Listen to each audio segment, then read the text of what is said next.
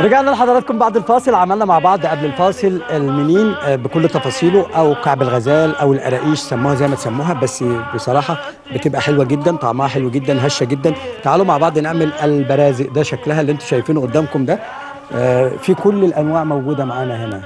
كله كله بالهنا والشفا تعالوا بقى نشوف مع بعض البرازق نص كيلو من الدقيق. نص كيلو من الدقيق. عندي ربع كي... آه، ربع كيلو من السمنة و100 جرام سكر powder ونص كوباية syrup تقيل وكمان نص كوباية مية عادية ومعلقة مية زهر. هقول لكم بس كل التكنيك ده دلوقتي. وبعدين للوش بقى بيتغطى بفستق مجروش أو مفروم وبيتغطى بسمسم. وهنقول دلوقتي بنعمل فيهم إيه الاتنين. تاني لأن السمسم بيتحط عليه معلقتين سكر powder وبيتحط عليه ربع كوباية من ال syrup. نقول تاني المقادير كلها علشان خاطر في syrup جوه العجينة وفي syrup مع السمسم. نص كيلو من الدقيق ربع كيلو من السمنة 100 جرام من السكر ال powder ونص كوباية syrup تقيل ونص كوباية مية ومية زهر. لغاية كده تمام. هنتكلم بقى عن ال syrup التقيل. لما نعجن العجينة هنروح علشان نفضي هنا الدقيق ونحط عليه السمنة وبرده بنفس طريقة البس اللي إحنا بنبسها المقادير مع بعض. أهو السمنة مع الدقيق نبسهم مع بعض شوية كده وإحنا شغالين بقى وبنبسهم. عايزين بس نفكركم إن إحنا موجود معانا برضو شركة ايزي للاستيراد والتصدير شركة عندها كل أنواع البقول الحاجات بتاعتها كلها زي ما بنقول متنقية على الفرازة. شركة لها باع طويل في المنتجات والبقول والحاجات. عندهم كمان المنتج بتاعهم اسمه منتج أو الأكياس بتاعتهم اسمها اليوم في العدس في الفاصوليا. في كل ما تتمنوه من بقول متنقية يعني تاخدوها على طول يا دوب تتشطف ونشتغل على طول. آه، السنة دي بقى عاملة لكم آه، ميزة بتكلموا على التليفونات الموجودة قدامكم دي. فبيتواصلوا معاكم وبيبعتوا لكم كل الحاجات اللي أنتوا عايزينها لغاية باب البيت بدون أي إضافات بنفس السعر اللي بتتباع في السوق. عندهم كمان منتج اسمه بيتي فول رائع لازم تجربوه. تعالوا مع بعض بقى نكمل عملية البث بتاع الدقيق. عشان كل ذرة من الدقيق يبقى جواها شوية تمام. وهننزل الزيادات زي ما بقول لكم دايما كده. الحروف أهو عشان كله يختلط مع بعضه. ونرجع نعيد تاني عملية البث بس آه يعني اللي هو مبسوس مش بس يعني بس مباشر. تمام. نيجي بقى ال ال ال السر بقى هنا. هناخد زي ما قلنا نص كوباية من السيرب وهخلي الشوية اللي قلت لكم عليهم اهم ربع كوباية. واحط عليهم هنا السكر البودر واحط عليهم المية واحط عليهم كمان مية الزهر أو الورد ونقلب كل ده مع بعضه. الخليط ده بقى اللي هنكمل بيه العجين. وبعدين وإحنا بنقلب كده الخليط ده مع بعضه كده هنروح جايبين السمسم هنا ومفضيينه ومفضي عليه السيرب بتاعي.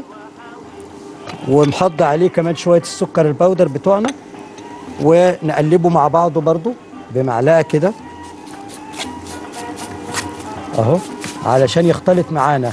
يبقى إحنا كده عملنا السكر أهو مع السيرب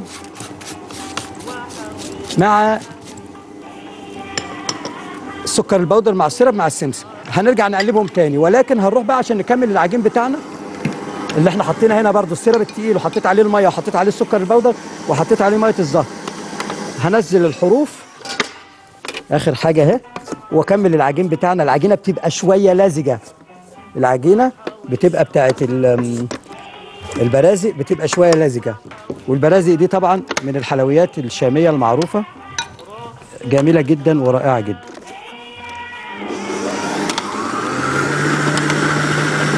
نزود. الخليط ده. اهو اهو كله مع بعضه كده. آخر حاجة. نزود السرعة شوية.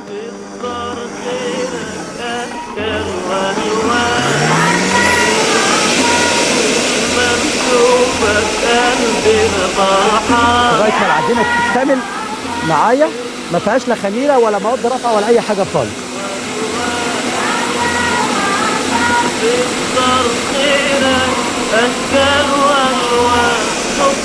تمام كده؟ ده نرفع؟ شايفين العجينة عاملة إزاي؟